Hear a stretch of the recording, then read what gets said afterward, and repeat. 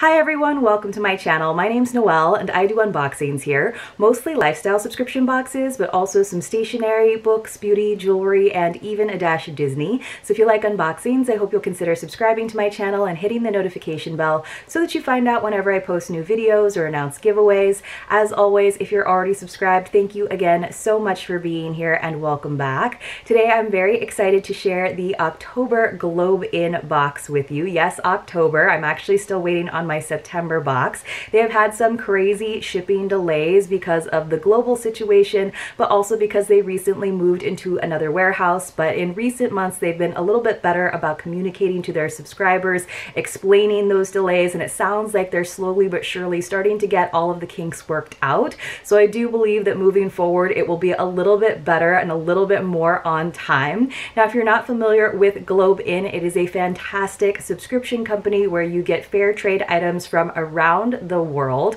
You can shop in their artisan shop, but you actually get a great deal if you do their subscription because they create these artisan bundles that are $40 per month plus $10 in shipping. Obviously, if you do a little bit of a longer subscription, then you are going to save a little bit of money. I also have a code for you. It's Hi Noel. I'll leave a link and that code in the description box below, and that will save you 50% on your first box if you do a three month or longer subscription. And often there's other perks if you do a longer subscription, like getting to select your artisan bundle for that month a little bit earlier than other subscribers. Now, every month at the beginning of the month, you have like 15 days essentially to choose what bundles you want. There's usually like 10 to 15 different themes to choose from. Sometimes they'll have ones from past months, sometimes they're rolling out several new ones. It's really exciting, really fun. They do all kinds of spoiler videos so you can get really excited about which ones you want to get your hands on. I always love that process.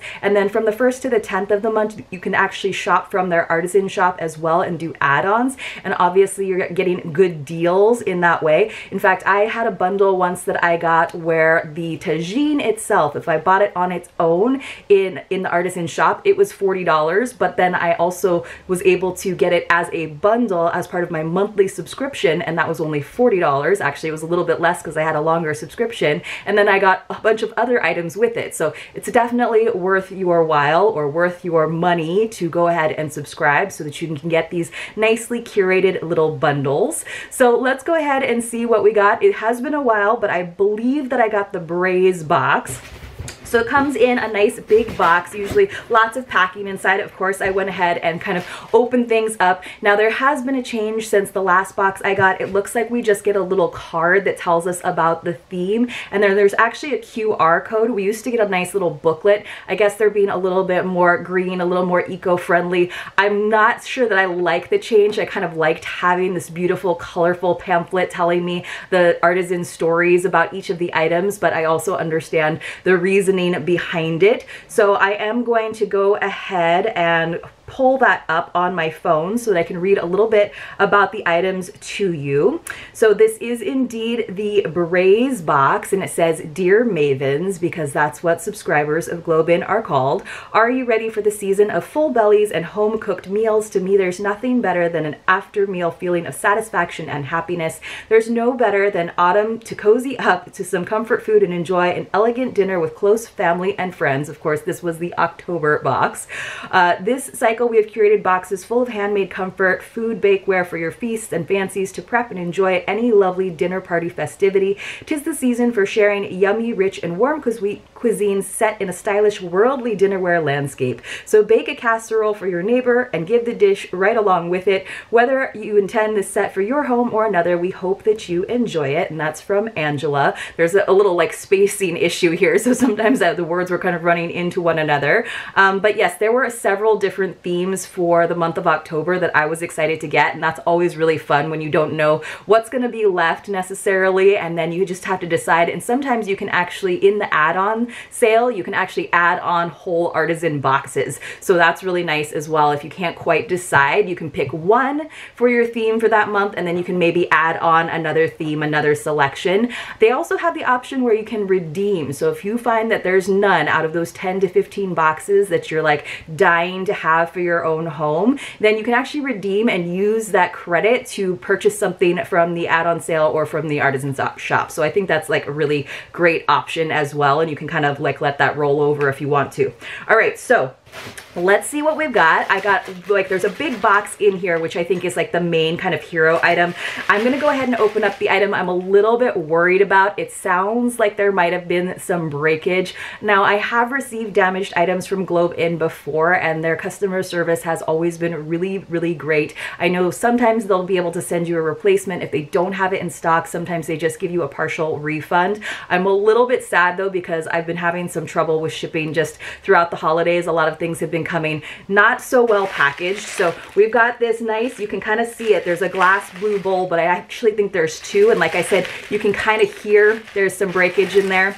So um, I think so, yeah, there is. So the problem is, is they had it wrapped in bubble wrap, but they just had the bowls nested in one another. So I'm happy to say it does not look like the outer bowl got cracked, but the inner one didn't really have like a layer of bubble wrap in between. So I can see you right through the bottom and then the in here in this bigger bowl, it's just shards and splinters of glass. So I have to be really careful with that. But of course I will clean out that smaller bowl, get rid of it and show you the bigger bowl, which I think is just a gorgeous, gorgeous color when I post photos over on Instagram. And I'll also keep you updated how, how quickly I hear back from customer service. I know they are swamped right now. So I feel like the turnaround time is actually like a good week, which is a little little disappointing, but I'm sure that they will eventually get back to me and make it right. So let's read a little bit about these beautiful glass bowls. I'm so sad that smaller one because it was like so, so cute and it was such a cute set. So these are small glass prep bowls and it says they're from Morocco. Your tea glass starts its long journey to you as recycled glass collected throughout Morocco. Le Verre Beldi in Marrakesh is the last artisanal hand-blown glass workshop in Morocco. Here, this traditional art form has been revived with sustainable methods. Every day, two tons of glass waste are collected and remelted in an oven heated to around 1600 degrees Celsius. Artisans then use a combination of blowing methods and iron molds to form each glass, which is finally put in an annealing oven for three hours And then it tells you a little bit about one of the artists, Labid Mohammed, which is so cool. He is a proud father who lives in Marrakesh with his family. He's been working with glass since 1986 and got his start in the famous Sova Maroc glass factory in Casablanca. When the factory closed, he moved to Marrakesh and started working for Le Verre Beldi. So it goes on to tell you a little bit more, and I love that little story that they give you. It really adds to the experience of getting these boxes. So I do hope that they are able to replace the small bowl for me but even I'm just really grateful that the outer bowl came intact because I do love glass art. Um, and I kind of love how you can kind of see there's even some bubbles in the glass. It's not like super perfect. Um, and I think that just adds to the charm of it. So I love having little bowls and little plates and sort of mismatched sets. So I do hope they can replace it, but I'm very glad that the bigger bowl is intact. So let's go ahead and see. I think I felt something else around here. I kind of have it like precariously balancing on like like a little table. So I got something else that's kind of hefty and uh, wrapped up and I'm not sure exactly what it is. Oh, so sometimes they do include like a food item in uh, the boxes and this is from Casablanca Market. So it's some Moroccan harissa, which is of like, you know, a pepper sauce, which is really fun just to accent different meals if you like a little bit of heat. It's not like crazy spicy in my personal opinion. So that's a nice size jar. I wonder if there was some jostling happening although, like I said, the outer bowl was totally fine. So um, I, I I don't know exactly what happened with the packing with that. So I keep looking at the card instead of my phone. Let me look again on my phone and read a little bit about this lovely harissa. So let's see. It says this is from, or the artist that's featured here is Katia Essiad. Katia Essiad is the founder of Casablanca Market, the women employed entrepreneur of your new Moroccan harissa. Her Moroccan harissa recipe was inspired from her childhood memories of putting harissa on freshly baked French baguettes. That sounds sounds amazing. Its intention and result was a new flavor dimension for the American palate that simply makes food taste better. To preserve the authenticity and quality of the traditional flavors, sourcing and production are based in Morocco. Katia doesn't do this all alone, of course. She works with 200 women in Morocco who make the products using her recipes. That is so, so cool. Again, I love having harissa like as a little dipping sauce or just even putting it on like, like on a creamy pasta or in like a creamy soup or stew. It just adds that little extra bit of kick. And um, I'm sure I can look up some other recipes and find out different ways to use it. If you guys have any suggestions for how you like to use your harissa, uh, let me know in the comments below. And then I think we have like the star of the show left to go, which is the reason that I chose this Braise box. So I am really excited because I did see that some of the other boxes that I didn't get to select for October have been making a reappearance recently in the artisan shop, um, and I might be able to get my hands on one. So uh, this nice brown box seems pretty, pretty good. There's like corrugated cardboard wrapping everything. So here is the lid. Maybe you guys can get an idea of what I've got. It is some hefty, gorgeous speckled ceramic. That is so, so lovely. It almost looks like a candle holder, right? I guess you could almost probably use it that way if you wanted to. You could just put like a taper candle in there. So let me uh, dive in here and get the rest of this beautiful item out. It is a little bit hefty, so hopefully I can do it. All right. But the nice thing about it is because it is so hefty, it's nice and sturdy too. So because it was in that box, I think it had a pretty good shot of making it in one piece. This is so gorgeous. Look at this crock pot, you guys. I love these little rounded handles. It doesn't really have any feet on the bottom, but you can see the stoneware, but just this glaze, you guys, is just so like earthy and beautiful and simple. I love the color. It's gonna go in like any home. Like this would totally fit in like a country country themed kitchen, a more modern kitchen. So it fits in there pretty good. Nice and heavy, like I said. So I'm gonna go ahead and put it down so that I don't drop it on my toe, which would be terrible. And then I'm gonna pull it up here and see what it has to say about this gorgeous, I'm not sure exactly what we call it actually.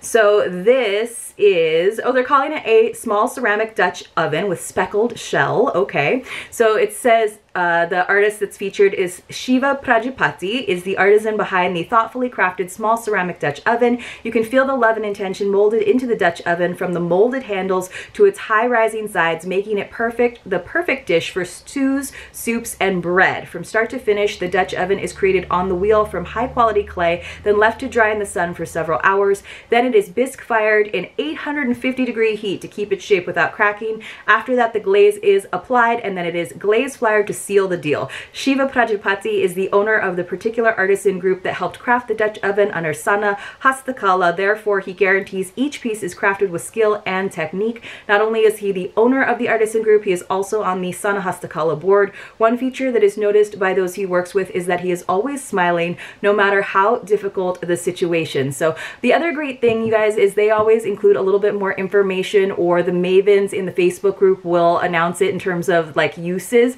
So I don't think this is a Dutch oven that you could use like on the stove top to like reheat things. I think it's more like baking in the oven, but um, considering the heat that it underwent to be created, I'm pretty sure it's gonna work in your regular uh, convection ovens. So I'm definitely excited about it. Like I said, I think um, I'm very excited to try some like harissa in my beautiful dipping bowl as well, and hopefully I get that replacement. But I'm just trying to think of what I wanna make in this. Like I said, it's pretty heavy. It would just be so pretty as like a serving dish too. If you made like a casserole, right? You can like make it all like brown and, and crackly on the top or just a beautiful stew, but maybe you drizzle some of that harissa in there. So I'm really excited about this. And I like that it's small because that's like the perfect size for me and my kitchen because I'm not doing like big family meals. So this would also be good for you if you do have a bigger family for like maybe one of your side dishes, but it does feel like a great quality product. And again, I love hearing all of the the artisan stories